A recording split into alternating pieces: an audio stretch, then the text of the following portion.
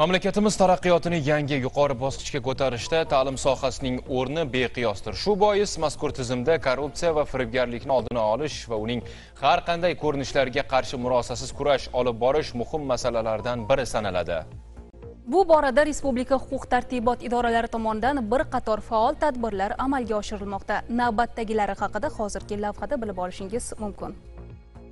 Davlat xavfsizlik xizmatining farg'ona viloyati bo'yicha boshqarmasi xodimlari tomonidan ichki ishlar organlari bilan hamkorlikda o'tkazilgan tezkor tadbirda qo'shtepa tumanidagi maktablardan birining o'qituvchisi yozyovon tumanida istiqomat qiluvchi uch nafar fuqaroni qirg'iz respublikasidagi qirg'iz davlat universitetining qadamjoy filialiga o'qishga kiritib qo'yishni va'da qilib evaziga 6600 aqsh dollari olgan vaqtida ushlandi.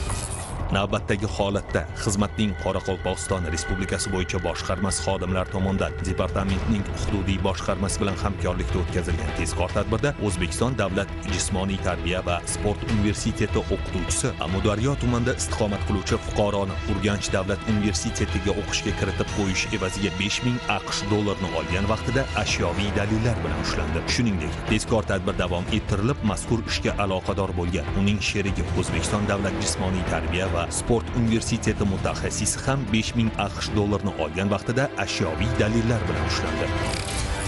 Davlat xavfsizlik xizmatining surxondaryo viloyati bo'yicha boshqarmasi xodimlari tomonidan iqtisodiy jinoyatlarga qarshi kurashish departamenti hamda ichki ishlar organlarining hududiy boshqarmalari bilan hamkorlikda o'tkazilgan tezkor tadbirda termiz shahrida yashovchi 1989 yilda tug'ilgan shaxs o'zining tanishlari orqali mazkur shaharda istiqomat qiluvchi fuqaroga ingliz tili bo'yicha C1 darajadagi til bilish sertifikatini olib berish evaziga 2400 aqsh dollari va 1 million 250 ming so'm olgan vaqtida ushlandi. Hozirda mazkur shaxslarning barchasiga nisbatan jinoyat ishlari qo'zg'atilib tergov harakatlari olib borilmoqda.